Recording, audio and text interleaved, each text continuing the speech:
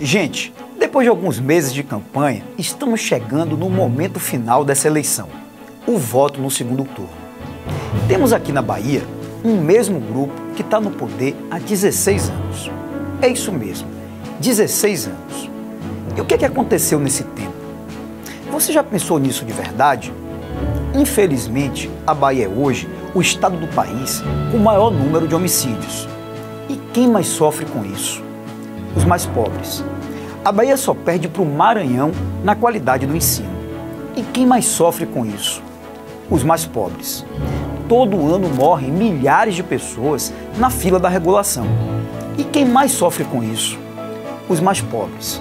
Somos também campeões em desemprego e de pessoas vivendo abaixo da linha da pobreza. E olhem que eles ainda têm a coragem de dizer que trabalham pelos mais pobres. Agora você tem a oportunidade de mudar tudo isso, de verdade. De começar a construir uma nova história. Mais do que discurso, eu trago o meu exemplo. Já provamos que essa história de governador tem que ser do mesmo partido do presidente. Gente, isso não existe. O que existe é compromisso, trabalho e competência para realizar.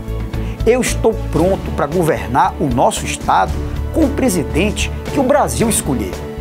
Termino essa campanha agradecendo a Deus, que sempre foi a minha força, o meu escudo e o meu guia. Tenho muita fé que nesse domingo, o fim dessa campanha será também o início de uma nova história para a Bahia. Aquele minutinho que você vai passar na urna vai decidir os seus próximos quatro anos. Por isso, nesse domingo, vote pela mudança. E a mudança na Bahia é 44.